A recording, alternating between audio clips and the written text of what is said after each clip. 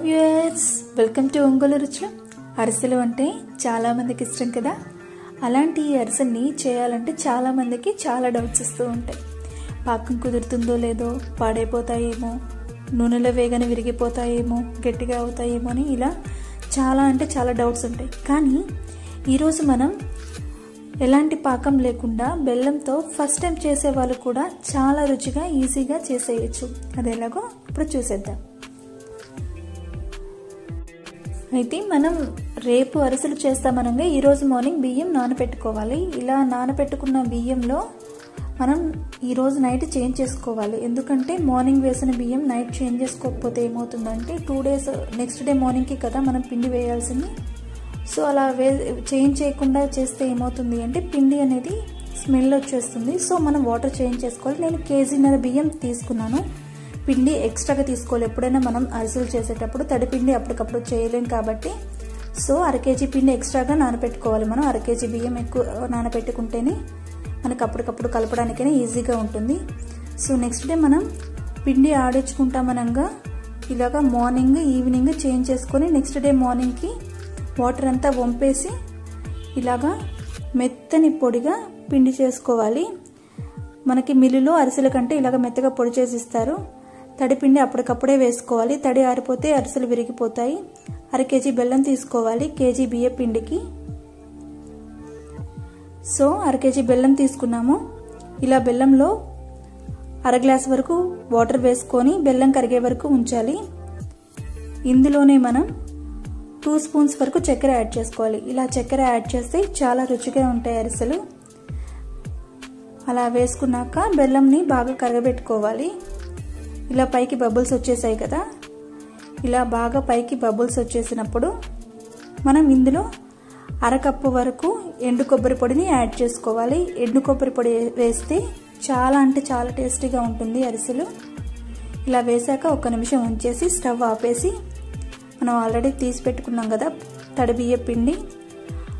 Stove ఆపేసిన తర్వాత కొంచెం కొంచెంగా యాడ్ చేసుకొని కలుపుకోవాలి. ఒకేసారి యాడ్ చేయకూడదు. సో ఇలా పిండి కలిపేటప్పుడు ఇద్దరు ఉంటే పని కొంచెం త్వరగా అయిపోతుంది కొంచెం ఈజీగా కూడా ఉంటుంది. ఒకరే కలపాలి అంటే చాలా కష్టం అవుతుంది కాబట్టి.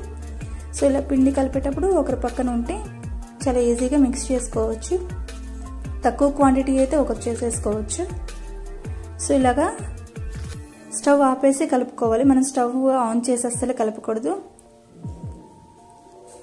ఇలా మొత్తం పిండిని కొంచెం కొంచెంగా యాడ్ చేసుకొని బాగా మిక్స్ చేసుకోవాలి. పిండి ఒకవేళ జారుగా అయినట్టు కనుక మనకు అనిపిస్తే మనం ఆల్రెడీ ఎక్స్ట్రా పిండి ఉంచాం కదా అది అందులో యాడ్ చేసుకొని కొంచెం నెయ్యి కూడా యాడ్ చేసుకోవాలి. నెయ్యి యాడ్ చేస్తే అరిసెల రంగు కానీ వాటి రుచి కానీ డబుల్ అవుతుందన్నమాట. ఇలా వేసాక డీప్ ఫ్రైకి సరిపడా ఆయిల్ వేసుకొని చిన్న చిన్న ఉండలుగా తీసుకొని చేసుకోవాలి. వేడిగా ఉన్నప్పుడే మనం అరిసెలు చేసుకోవాలి. లేదంటే అరిసె నూనెలో వేయగానే విరిగిపోతుంది చల్లారిపోతే ఈ పిండి మనం వేడిగా ఉన్నప్పుడే తీసుకోవాలి. వేడి కనుక పట్టుకోలేకపోతే చేతికి నెయ్యి రాసుకొని ఇలాగా నువ్వుల్లో కొంచెం కొంచెంగా అద్దుకొని అరిసెల మాదిరిగా ఇలాగ వేసుకొని డీప్ ఫ్రై చేసుకోవాలి. చూసారు కదా ఎలా పొంగిందో? అరిసెలు మనకి పర్ఫెక్ట్గా వచ్చేయడానికి అరిసెలు మనం వేసిన వెంటనే ఇలాగ పైకి పొంగుతుంది. సో అప్పుడు మనకు పర్ఫెక్ట్గా వచ్చినట్టు అరిసె. లో టు మీడియం ఫ్లేమ్లోనే పెట్టుకొని వేయించుకోవాలి. హై ఫ్లేమ్లో అసలు పెట్టకూడదు. ఎందుకంటే ఇలా పెట్టడం వల్ల అరిసెల లోపల పచ్చి పచ్చిగా అవుతుంది హై ఫ్లేమ్లో పెడితే. లోపల సరిగ్గా ఉండదు. ఇలా కలర్ వచ్చిన తర్వాత వాటిల్లోని ఆయిల్ని ఇలాగా అరిసెల ప్రెస్ చేసేది కనుక ఉంటే అందులో వేయచ్చు. లేదంటే ఇలాగా గరిటెతోనే మనం ఆయిల్ ఒత్తేసుకోవాలి. ఒత్తేసుకొని పక్కన పెట్టేసుకోవాలి.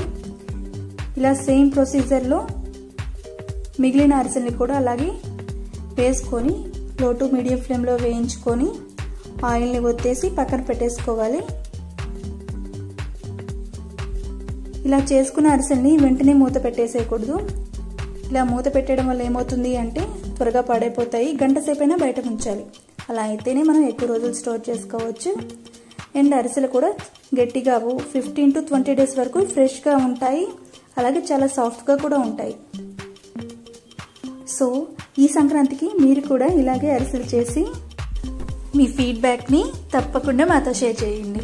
మీ వాల్యుబుల్ ఫీడ్బ్యాక్కి మాకు గ్రేట్ ఎంకరేజ్మెంట్ సో మీరు కనుక ఛానల్ ఫస్ట్ టైం చూస్తే సబ్స్క్రైబ్ చేసి పక్కన ఉన్న బెల్ ఐకాన్ని ట్యాప్ చేయడం అస్సలు మర్చిపోకండి.